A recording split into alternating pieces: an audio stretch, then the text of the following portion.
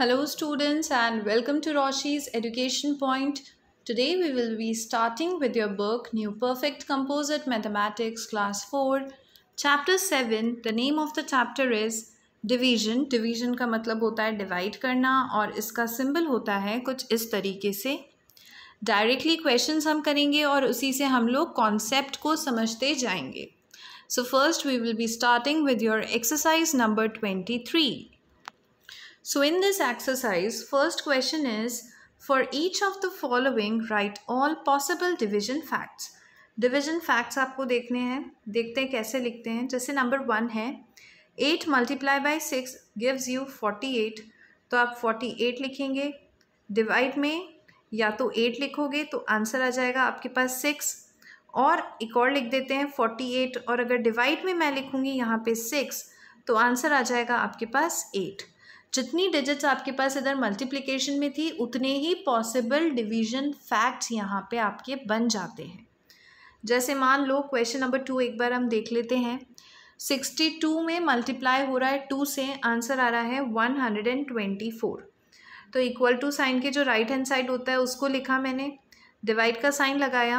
अब पहले अगर सिक्सटी टू लिखूँगी तो इक्वल्स टू साइन में आ जाएगा टू और अगर 124 में मैंने डिवाइड लगा दिया है यहाँ पर टू का तो इक्वल्स टू साइन के राइट हैंड साइड पर आ जाएगा 62 दो डिजिट्स थी मल्टीप्लाई में तो दो पॉसिबल डिवीज़न फैक्ट्स यहाँ पर आपको देखने को मिल गए हैं.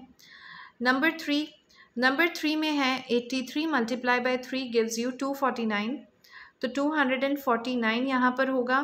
और डिवाइड में सबसे पहले अगर मैंने 83 लिखा है तो इक्वल टू साइन के राइट हैंड साइड पर आ जाएगा थ्री सिमिलरली सेकंड में है 249 डिवाइड में मैंने लगा दिया है अगर थ्री को तो इक्वल टू साइन के राइट हैंड साइड पर आंसर में आ जाएगा आपके पास 83 मल्टीप्लिकेशन में दो डिजिट्स हैं तो पॉसिबल फैक्ट्स भी दो रहेंगे।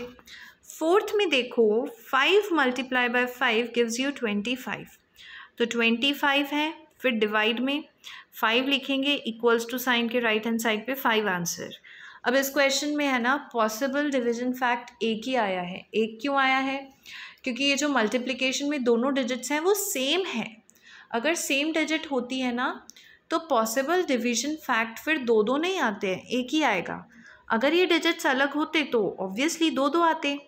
अब जैसे फिफ्थ में भी देख लो six multiply by six gives you thirty six अगर सिक्स और सिक्स सेम वैल्यू है ना, इसका मतलब मेरा जो ये पॉसिबल डिविजन फैक्ट है, वो एक ही आने वाला है। सिक्स में भी सेम चीज़ रिपीट हो रही है। Thirteen into thirteen equals to one sixty nine तो one sixty nine divided by thirteen will give me thirteen solution एक क्यों आ रहा है? क्योंकि मल्टीप्लिकेशन वाली डिजिट्स मेरी सेम है। अगर अलग होती तो ऑब्वियसली आंसर अलग आ जाता। Next write the multiplication fact for each of the following division fact अब सेवेंथ क्वेश्चन में डिविजन दे रखा है, आपको मल्टीप्लीकेशन लिखना है। जैसे twenty eight divided by four is giving you seven इसका हो जाएगा seven multiply by four will give you twenty eight ये इसका मल्टीप्लीकेशन फैक्ट है। एट्थ का है forty eight divide by eight is giving you six तो इसका हो जाएगा six multiply by eight will give me forty eight ये मल्टीप्लिकेशन फैक्ट हो जाएगा नाइन्थ में गिवन है eighty one divided by nine is giving you nine इसका मल्टीप्लिकेशन फैक्ट बनेगा nine multiply by 9 will give you 81. With this, your exercise 23 is completed. Now let us start exercise number 24. Find the quotient and reminder अब देखो, इस question को कैसे करते हैं?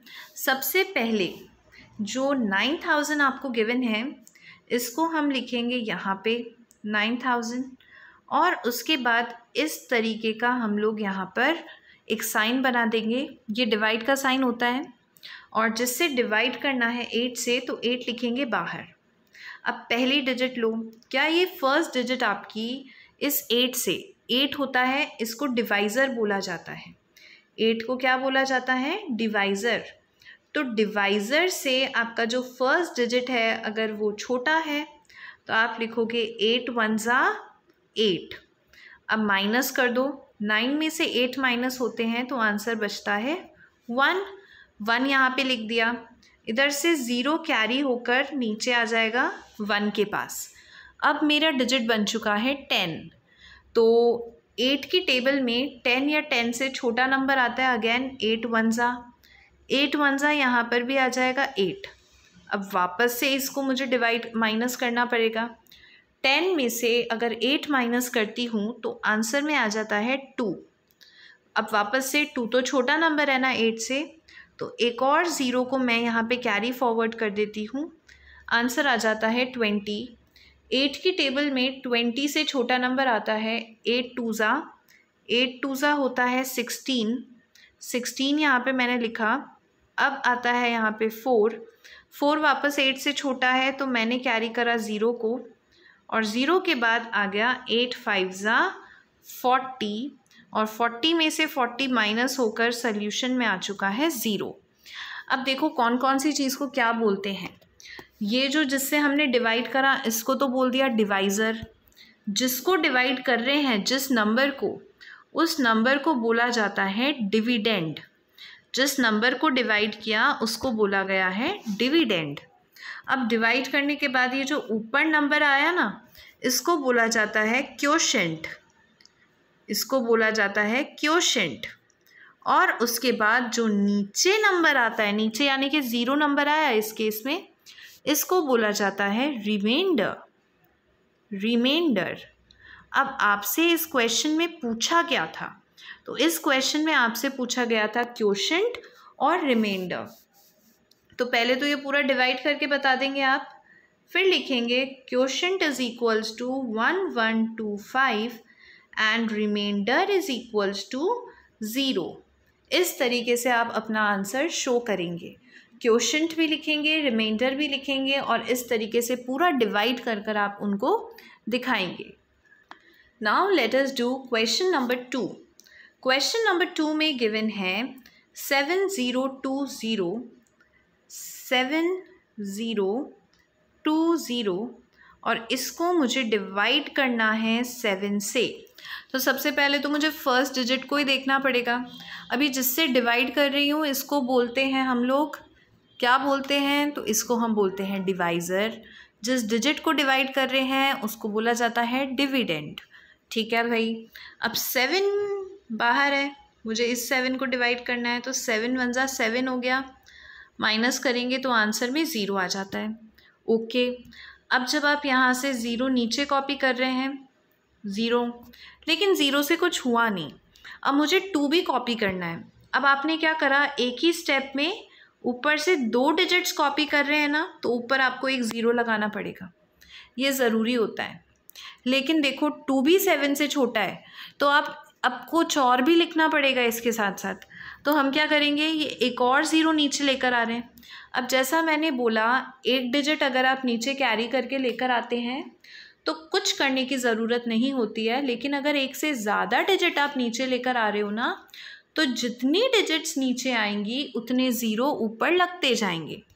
To नीचे आया तो एक ज़ीरो ऊपर लगा दिया था। अब एक ज़ीरो नीचे आ रहा है तो एक ज़ीरो और ऊपर मुझे लगाना पड़ेगा। अब ट्वेंटी सेवन से तो बड़ा होता है। तो सेवन टू ज़ा फोर्टीन में यहाँ पर लिख सकती हूँ और यहाँ पर रिमाइंडर में आ जाएगा सिक्स अब हमसे पूछा कि क्वेश्चंट बताओ। क्वेश्चंट का मतलब होता है ये ऊपर वाला तो क्वेश्चंट आ जाएगा वन ज़ीरो ज़ीरो, टू। और रिमाइंडर पूछा है रिमाइंडर होता है ये नीचे वाला तो रिमाइंडर में आ जाएगा आपके पास सिक्स तो डिवाइड करके भी बताना है और इस तरीके से क्वेश्चन और रिमाइंडर अलग अलग लिख कर भी आपको बताना रहेगा। Moving to question number three question number three में गिवन है nine thousand two hundred and thirteen और इसको डिवाइड करना है फोर से। फोर टू ज़ा एट होता है। यहाँ पर से बचेगा नाइन माइनस एट वन। फिर वन फोर से छोटा है तो टू कैरी करना पड़ेगा। टू नीचे लेकर आ गई मैं। ट्वेल्व। फोर की टेबल में ट्वेल्व आता है थ्री टाइम्स। फोर थ्री ज़ा ट्वेल्व हो गया। इधर तो आंसर आ गया ज़ीरो। तो मुझे वन कैरी करना पड़ेगा नीचे, लेकिन वन तो फोर से छोटा होता है। तो मुझे थ्री भी कैरी करना पड़ेगा और एक साथ अगर दो डिजिट्स नीचे कैरी कर रही हूँ तो एक ज़ीरो ऊपर लगाना पड़ेगा। फोर की टेबल में थर्टीन से छोटा नंबर आ जाता है थ्री ज़ा फोर थ्री ज़ा ट्वेल्व। थर्टीन माइनस ट्वेल्व होता है वन। इस केस में क्वेश्चन आपका बन जाता है two thousand three hundred and three यानी कि ऊपर वाला नंबर, और रिमाइंडर बन जाता है सबसे नीचे वाला नंबर, यानी कि one. This is the solution for your question number three moving to question number four question number four में गिवन है seven five three one nine और इसको डिवाइड किया गया है थ्री से। थ्री टूज़ा यहाँ पर आएगा सिक्स सेवन माइनस सिक्स होता है वन फिर आएगा फाइव कैरी फॉरवर्ड एक डिजिट अगर नीचे ले रहे हैं तो ऊपर ज़ीरो लगाने की कोई ज़रूरत नहीं होती है। थ्री फाइव ज़ा फिफ्टीन हो जाएगा यहाँ पे fifteen minus fifteen will give you zero एक थ्री अगेन यहाँ पे कैरी फॉरवर्ड कर देंगे हम लोग। थ्री फंजा थ्री हो जाएगा यहाँ पे। Three minus three will give me zero one carry किया, लेकिन वन तो थ्री से छोटा होता है। तो एक और डिजिट कैरी करना पड़ेगा। नाइन भी नीचे लेकर आ जाओ। अगर एक साथ दो डिजिट लेकर आए हैं तो ऊपर एक ज़ीरो लगाना पड़ेगा। थ्री की टेबल में नाइनटीन से छोटा नंबर आता है सिक्सा थ्री सिक्सा होता है eighteen nineteen minus eighteen, one बचेगा। इस केस में क्वेश्चन मेरे पास आ जाता है two five one zero six और रिमाइंडर बच जाता है मेरे पास one. This is your answer number four.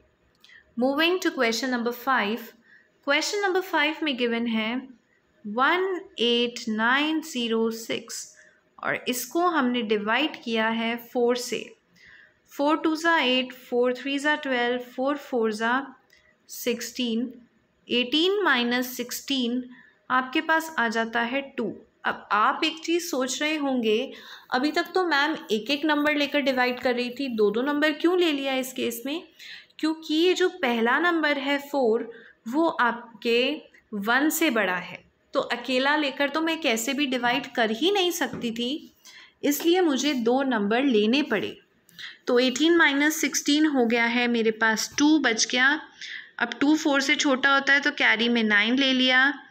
Four five ज़ा ट्वेंटी फोर सिक्स ज़ा ट्वेंटी फोर फोर सेवन ज़ा आ जाएगा twenty eight twenty nine minus twenty eight will give you one एक डिजिट मैं यहाँ से कैरी कर रही हूँ नीचे। तो बन गया टेन फोर की टेबल में टू ज़ा आता है फोर टू ज़ा एट बचा मेरे पास टू फिर ऊपर एक सिक्स बच रहा है तो सिक्स को भी कैरी कर लेंगे। फोर सिक्स ट्वेंटी फोर यहाँ पर होता है मेरे पास। तो ट्वेंटी फोर और यहाँ पे नीचे twenty six minus twenty four is your two इस क्वेश्चन में क्वेश्चन होता है मेरे पास four thousand seven hundred and twenty six, यानी कि ऊपर वाला नंबर और रिमाइंडर इस केस में हो जाता है मेरे पास two this is your question number five अच्छा रिमेनिंग जो क्वेश्चन है ना एग्जैक्टली exactly सेम है। तो आप ये खुद ट्राई कर सकते हैं, बिल्कुल सेम है, कोई डिफरेंस नहीं है। अब वैसे ही ये जो नंबर है, सिर्फ़ बाई की जगह डिवाइड का साइन लगाओगे, बाकी चीज़ें तो बिल्कुल ही सेम है। सेम का मतलब एक बार एक क्वेश्चन इसका करके देख लेते हैं हम लोग। जैसे यहाँ पर गिवन है two five nine one four और इसको हमको डिवाइड करना है फाइव से। तो फाइव फाइव ज़ा यहाँ आ जाएगा ट्वेंटी फाइव नीचे twenty five minus twenty five zero nine carry forward five one ज़ा five nine minus five will give you four one carry forward five eight ज़ा forty again forty one minus forty one carry forward four नीचे आ जाएगा then five two ज़ा ten and four यहाँ पे reminder में रह जाएगा। इस क्वेश्चन में अगर आपसे कुछ नहीं पूछा है तो हम लोग क्वेश्चन और रिमाइंडर ही लिखेंगे। क्वेश्चन इस केस में है आपके पास five one eight two and reminder is your four rest of the questions मैं नहीं करवाने वाली हूँ। You have to do it yourself of this exercise अगर कुछ समझ में नहीं आता है you can always ask me write it in the comment section and I will be pleased to share the solution. So yes, till here we will be doing today. With this, your exercise 24 is completed from my side. आप लोग तो जब इन questions को खुद से solve करेंगे then it will be completed from your side. So thank you so much. That's all for today.